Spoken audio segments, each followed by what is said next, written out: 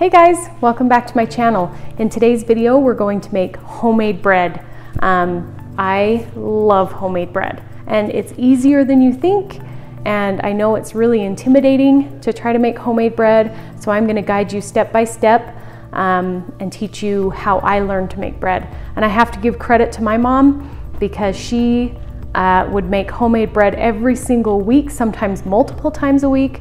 I remember walking in the door from school and always having the house smell like fresh homemade bread, and I loved it. If anybody can find a candle that smells like homemade bread, I'll be your first purchaser. But uh, anyway, I am really thankful for her for what she taught me, and I'm gonna teach you the way that she taught me step by step.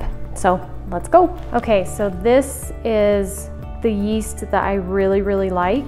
You can get a big pack of it at Costco or Sam's Club, but I love this. It will last you forever. What I actually do is pour this into a container like this. Sorry, that's loud.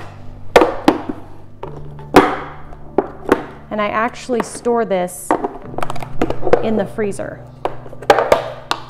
So it looks like I'm almost out, I need to refill. But if you'll get your yeast and put it in a container like this and store it in the freezer, it will stay good forever, at least a couple of years. Um, but it doesn't hurt the yeast, it doesn't do anything, it just um, preserves the life of it. So that is my very favorite kind of yeast. And you need the active dry yeast. Okay, the next thing you're going to do is get um, warm water. So Think of it like warm bath water is about the temperature that you want. And we're going to get four cups. Okay, that's about right. a little bit warmer.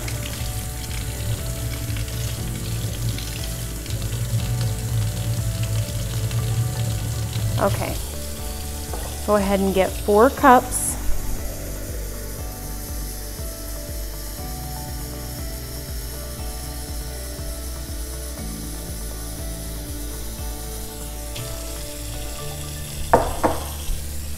Okay, after you get your four cups of warm water, you wanna get two tablespoons. Make sure there's no little clumps in there. One, two. Now here's the trick. If you want your yeast to blossom or get foamy, get a little bit of sugar, sprinkle some sugar in there with it, and that will help your yeast get really nice and foamy, but it won't change any part of your bread, the flavor or anything like that. It just helps this yeast. So just make sure that you mix that yeast in.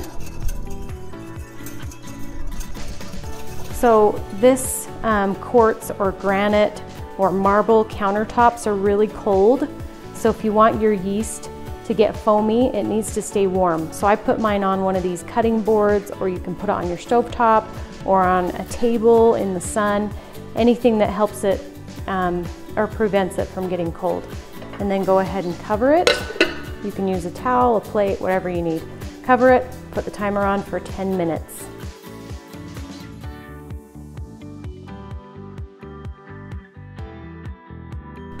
Okay, now it's been 10 minutes. The yeast is nice and foamy. It has a layer of foam on top. Going to go ahead and add that to our mixer. You don't have to have a big fancy mixer. You can mix this by hand. Um, but I will say I love this Bosch. My mom had hers for like 35 years, still going strong, and I just love them. But you really don't have to have a fancy mixer. Um, mixing by hand will get you the same result. So go ahead and add that to uh, your mixer and then we're going to add one tablespoon of salt.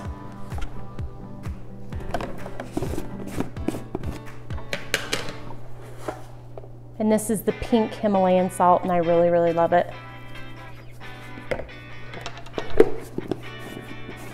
Then you'll add one third cup of canola oil.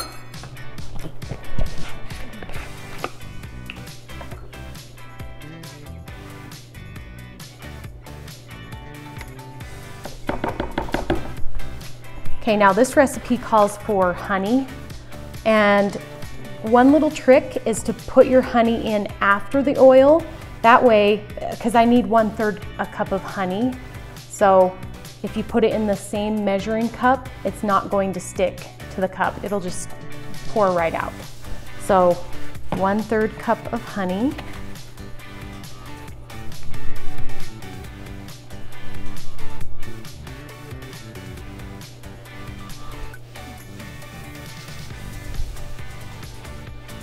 This is literally the thickest honey.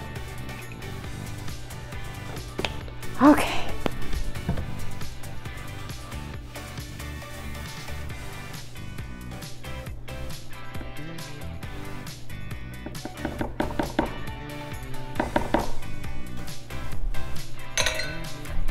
Then we're going to add our flour. So it calls for 10 to 12 cups, but we want to add it about half. So about five cups, mix, and then we'll add some more. So let's go ahead and add five cups of flour.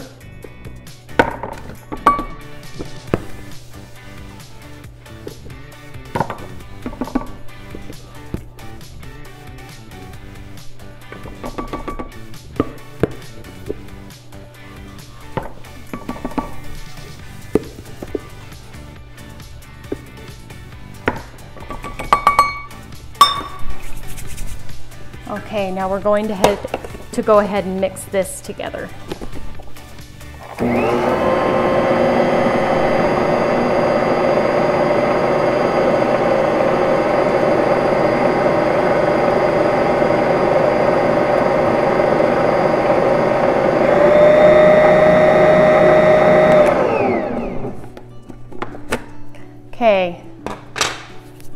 Have about five more cups of flour to add, but what I want you to do is add one cup at a time. So,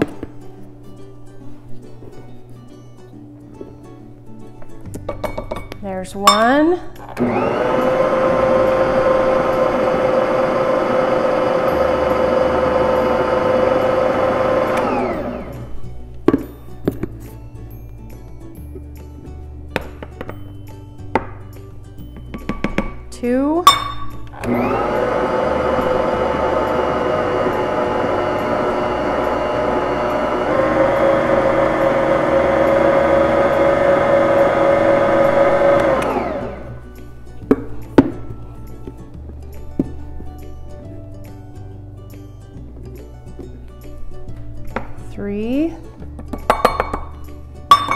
Now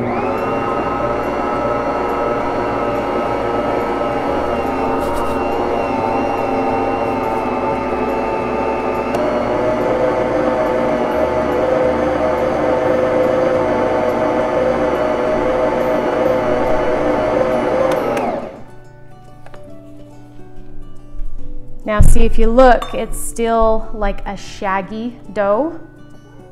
It's really, really sticky still. So let's go ahead and add another cup. This will be four.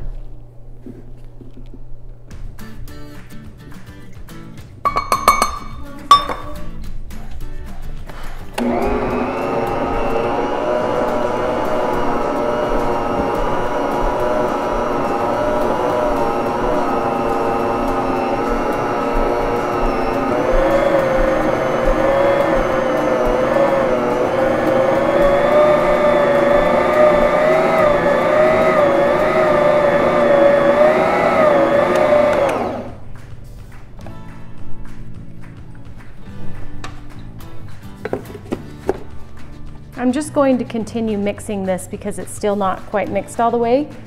But I don't know if we're gonna need that last cup. We, well, we probably will, but let's go ahead and mix this a little bit more.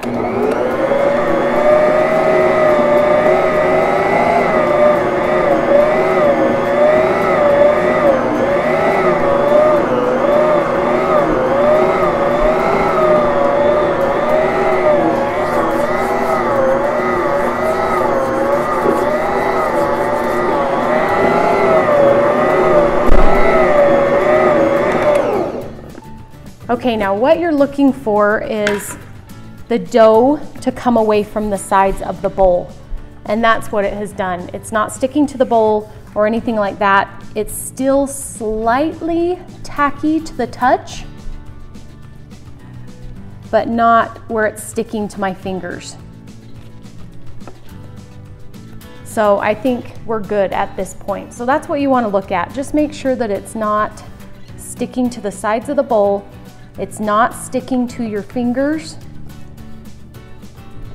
And that means it's ready to knead. Okay, now we're just going to remove it from the bowl. You can get some flour on your hands as you're removing it from the bowl so that it doesn't stick.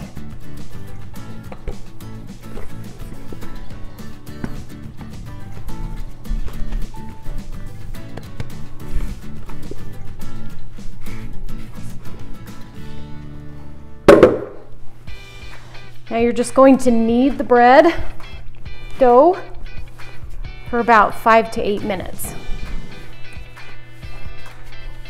It's a good arm workout.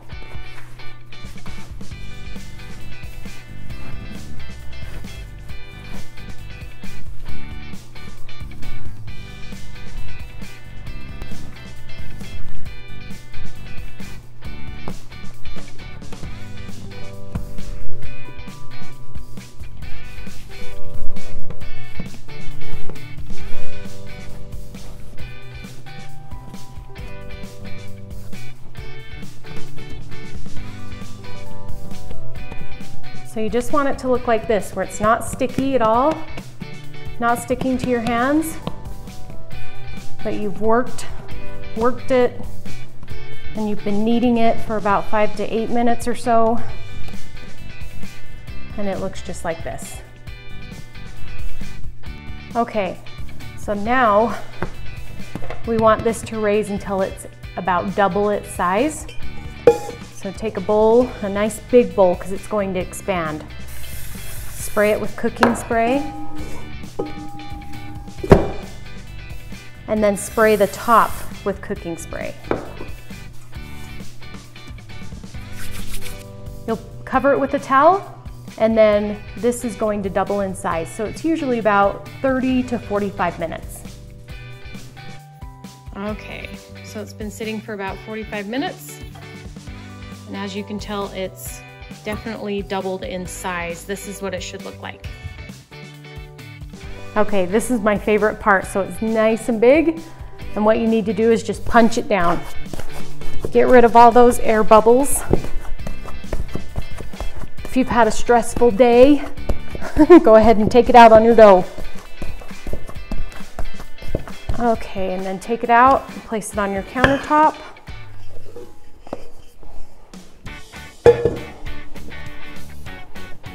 While that's just kind of resting for a minute, I'm just going to get my pans ready. So this will make three loaves of bread. All you need to do is just spray your pans with cooking spray. Make sure you get all the sides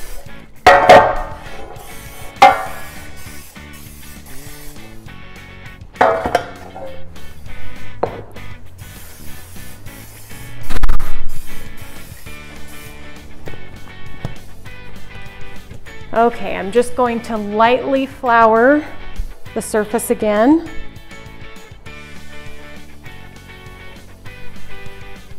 And just knead the dough just to get rid of that air that was in there. Now I'm just going to divide it up into three loaves. Trying to make even pieces here.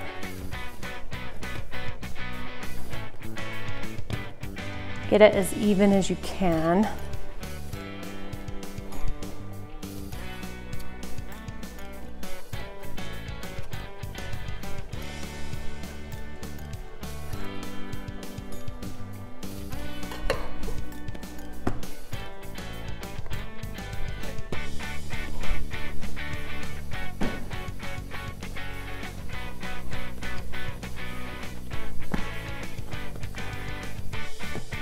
That's about even.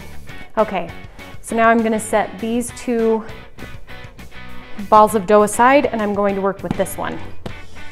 Now we're just going to lightly knead this just to get rid of any air bubbles.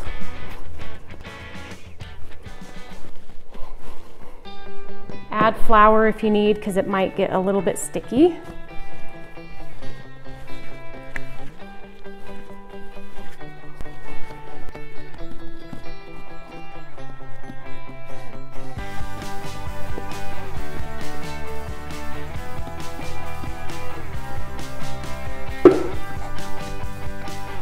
So you're just wanting to get rid of any of those air bubbles in there.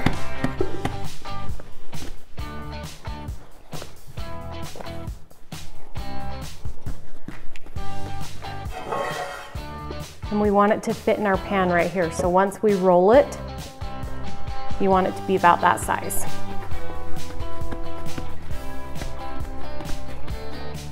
So go ahead and start rolling it as tight as you can.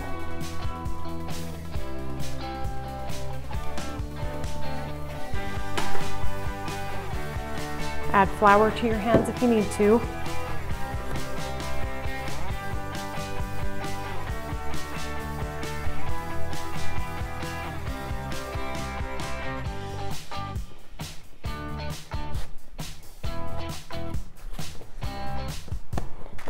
Now see this right here? You're just going to pinch it together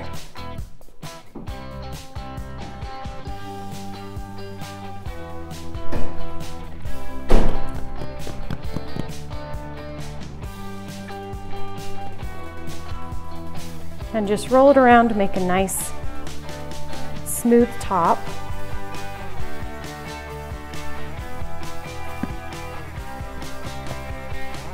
Now I'm just going to pound it and that gets rid of any air bubbles. And then go ahead and place it in your pan.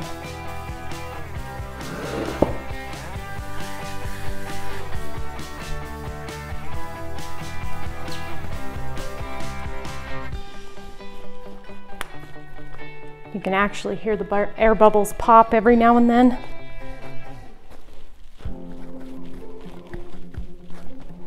Okay, now just start rolling it tightly.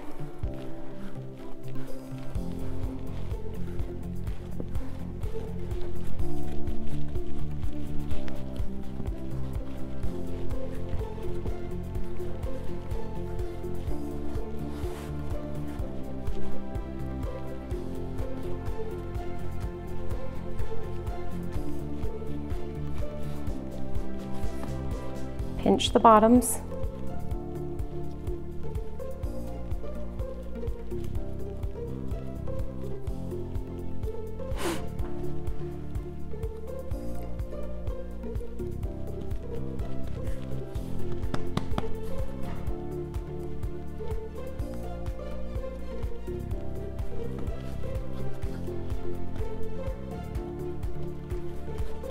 Roll it around, get a nice smooth top.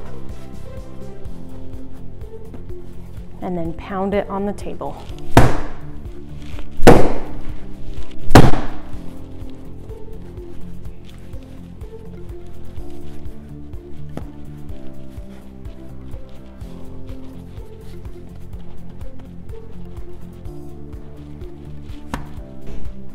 Okay, we have one more.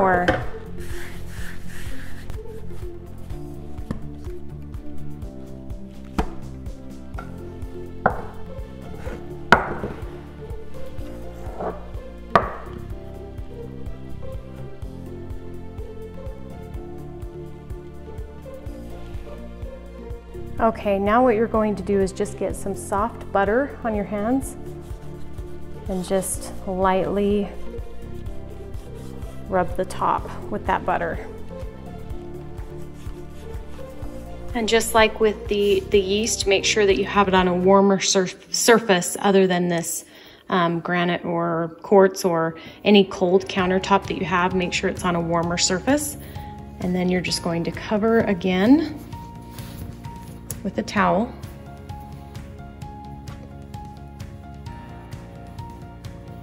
Going to preheat the oven to 350.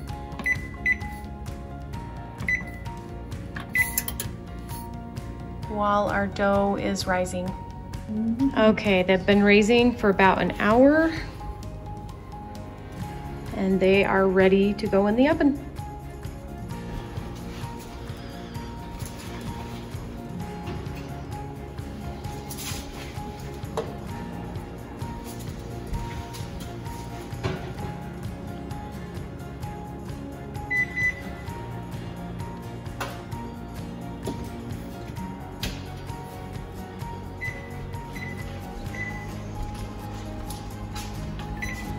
Now you're gonna put the timer on for 30 minutes.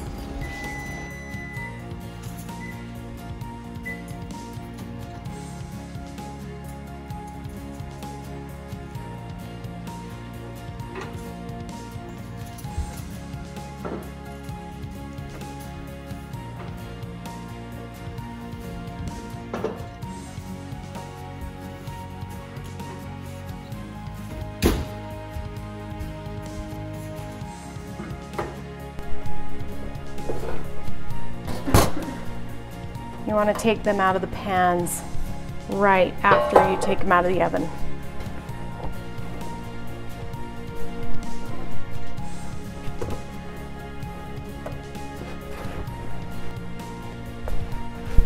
Okay. Now I just get my butter, kind of take the paper off of it and just rub the tops. This will keep them soft and give it a really good flavor.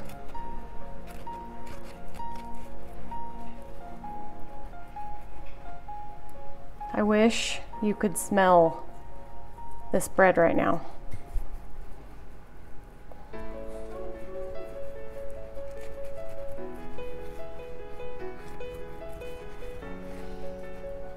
Don't be shy with the butter on top. Put as much as you want on there. All right, there we go.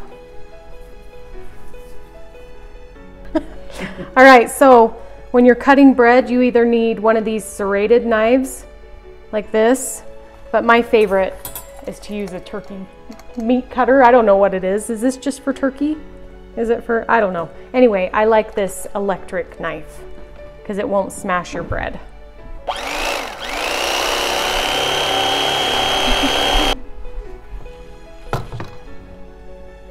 Look how yummy.